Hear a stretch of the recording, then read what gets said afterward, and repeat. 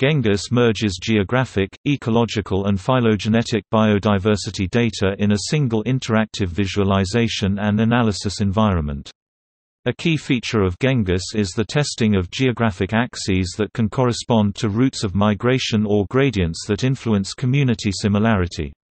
Data can also be explored using graphical summaries of data on a site-by-site -site basis, as 3D geophylogenies, or custom visualizations developed using a plug-in framework. Standard statistical tests such as linear regression and Mantel are provided, and the R statistical language can be accessed directly within GenGIS. Since its release, GenGIS has been used to investigate the phylogeography of viruses and bacteriophages, bacteria, and eukaryotes.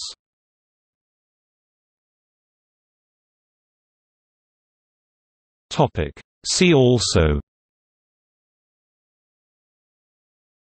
Phylogeography Biogeography